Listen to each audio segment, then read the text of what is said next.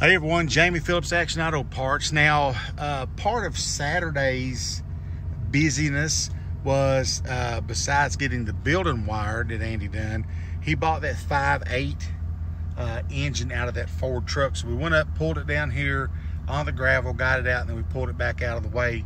Uh, luckily for him, the transmission stuff was done out. It was out when I bought the truck, but uh, got that 5.8 pulled and then he loaded the 57 Ford up this morning and then came back out and put that uh, motor there on the front of his trailer. It's for a different project. But uh, that was part of Saturday's. Uh, let's go up on top of the hill.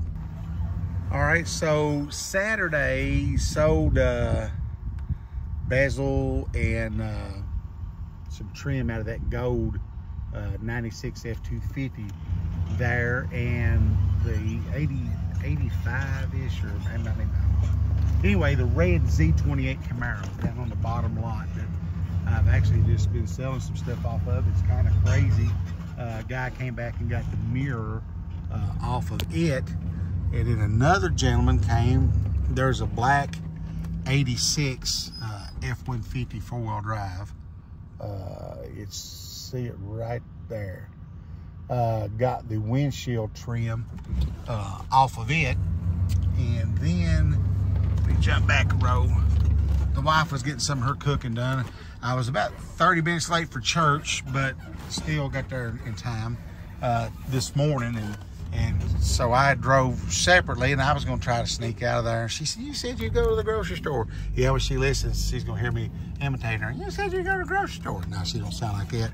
So I went to Walmart with her. We got groceries and oh my God. Me, her, Barney's food, Axel's food. And she had to get some of her protein supplements, a few things like that. And it was $389. I'm like, holy smoking guns. Uh, anyway, sold the alternator off this 2011 Sonata uh, Saturday as well.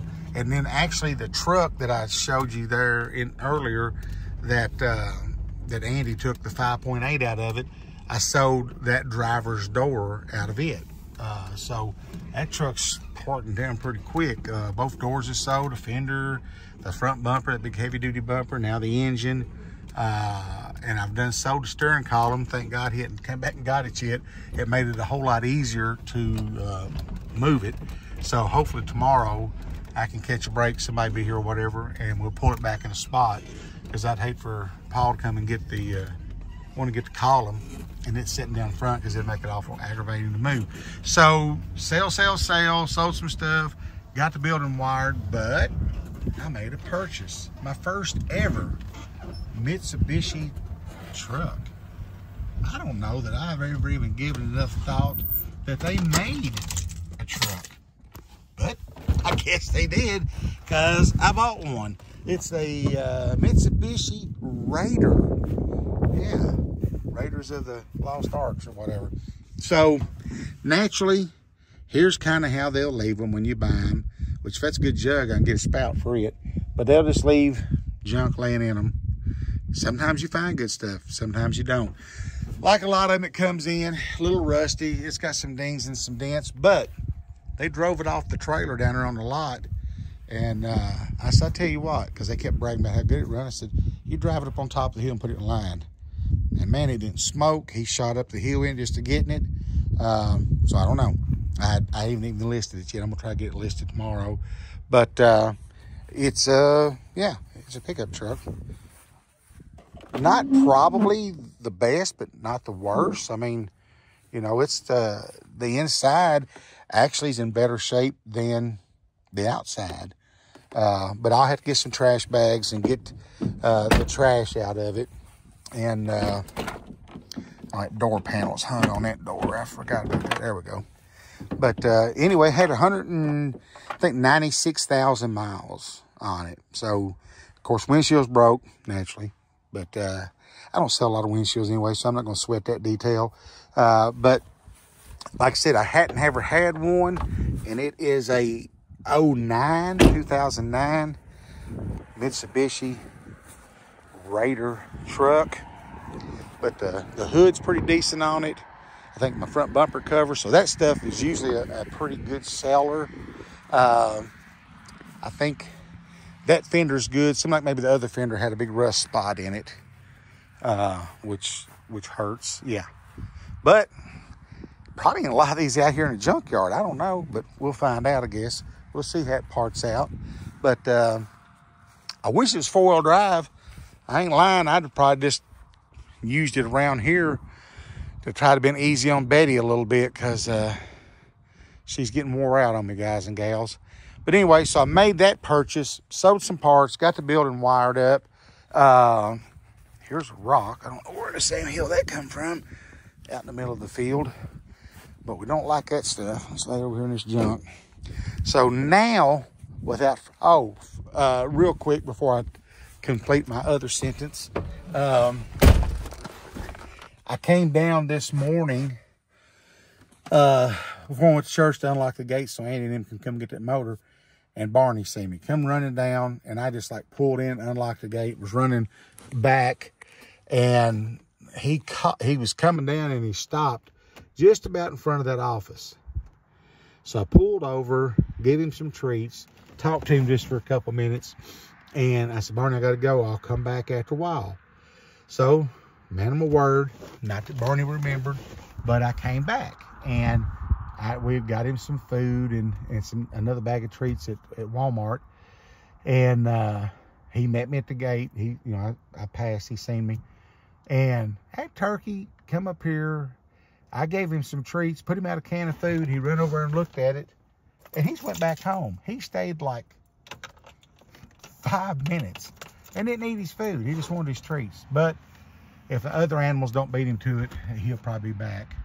Now, I'm gonna go down and mark this proposed site for my new driveway that where the house goes because uh, I turned in my paperwork and I kept forgetting to do it and I don't want them to ride out through here to look for it and then can't find it.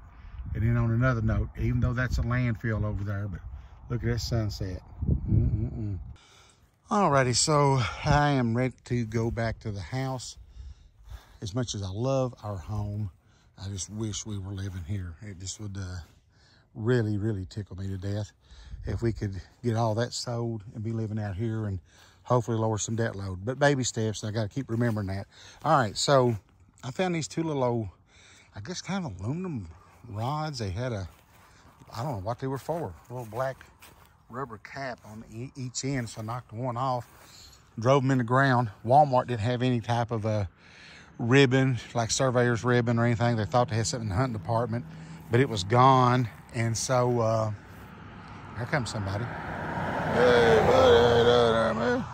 And so they had one of them little old hunting, cheap hunting vests for $7. I said, screw it. I got to have something so when the state drives by, if they prove my paperwork, then they know where I'm talking about. So this is 40 foot wide, plenty wide enough to get in and out just for the house but you might as well, if I mean, they'll put it in for me, so I might as well get all I can get out of it. But we was discussing it at the uh, the office the morning I stopped and picked up the paperwork to where not a lot of water in this ditch. Pretty much from here is going to go that way. And then from in here is going to go that way. So they said there's a chance, since I'm right at the peak, that they may be able to just do, you know, clean it out and just fill it plumb full of rock because there's nothing going to back up here that would cause problems and it's still going to turn and go that way. So that would be great if I don't have to get a culvert, uh, which they put in. I had to buy a small part of it and they put in the rest of it. So that's my proposed driveway for the house. And uh, it gets it up here to the top of this knoll. So you got plenty of room to look back toward Barney's. And then, of course, got all kinds of room looking back down toward the other gate. And then if this is in, you know, if the entrance is in, then I can try to uh, set a gate and then in time do like down there, put some black plank fence over and out and fan it out. But what's really going to help me is when I get this in, and then if I can get the electric company to work with me where that pole's right there, they had to come over on me and set a pole and then I can run it underground. So uh, seeing exactly where the house is going to go, uh, which is probably going to be right in here. Which I'll have to do some dozer work, but I want the driveway to come up behind the house. The house is actually going to face this way. I don't want it facing the road. that way we get sunrise behind the house in the morning and sunset in the evening. It gives you some more privacy uh, as far as people looking in, in, you know, in the front of the house or whatever. Uh, and then I can be here in the house and keep an eye on the garage and all of that. So that is my plan. So hopefully, if we can get this in and I can get a little bit of work done, even if they told me if I come here and just drive us some stakes in the ground like I'm marking out for a house, uh, then I can get them to start running the electric. Uh, I got to go to the health department. I think where I've got 13 acres, I don't have to have a, a plumbing permit, but they got a waiver that I can take to the water office. And it's $1,150 for the meter hookup now. I mean, every daggone thing is just stupid high. But what they'll probably do, I'm sure the water line's on that side, so they got a meter over here pretty close. They'll the water office will punch under the road and uh, put it over here. So we'll try to get it to where when they punch it in, it's within this 40 foot. Uh, so if I do put like a plank fence like I done down there, there'll be enough room that the meter hopefully is outside that. And then when they go to read the meters, it doesn't matter if I got this gate shut or not. They can pull up and read it. And if it does have to be outside, they can step across the ditch. But uh, we'll figure that out when I can get them up here. Uh, so hopefully get a water meter punched across, uh, the driveway started, and maybe make it look like I'm going to build the house. I, and I may not have to do no more than that to get them to come on and do it. They just didn't want to run it underground all the way down there to the garage and then me not build a house. And the other part of that is too, is when we run it, uh, say if the back of the house is going to be right in here or the side, uh, that above ground transformer would be uh, up close to the house. And so I put a temporary service and then still run it onto the garage and run it off temporary service until we start on the house and then it would be right here and we'll just have to go right over with a long sweep L. The only other thing I'd kind of like to do, but I probably can't, is it'll have to be on this side of the house too, where they can get, if they got to cross the ditch, if the gate was closed for some reason, and they can get to the meter to read it. So, like I said, trying to get it all figured out. I want it to, I know it's a junkyard, y'all, but I still want it to look good. We worked so hard getting all this road frontage uh, straightened up. And uh, looking good. I mean, I left that little walnut tree and I left a maple down there, a little small one. But uh, so this is just part of the one of the steps. Driveway, hopefully the water, and then try to find the best price on the conduit, rent a ditch witch for the weekend, and go from there. Uh, all right, I'm gonna wrap it up. I've talked too much. Uh, please give me a thumbs up, leave a comment, and subscribe. And uh, I'll be back out here. Hopefully I can get all these videos loaded tonight. If not, I will tomorrow. But uh, I'll be back at work uh, tomorrow morning. We'll start this thing all over again. Uh, hopefully I can go get the insulation boards for the little building and stop and get the uh, insulation. And so tomorrow, if I got in between customers or whatever, I can try to get the, at least the walls insulated in that white fiber board, put on the walls, and then put my plug plate uh, and switch covers and stuff back on. So there you go. Uh, like I said, please help me out. Thumbs up, comments, subscribe. Catch you in the next one. I don't know, man. I feel like a bit weird today. I woke up so funky.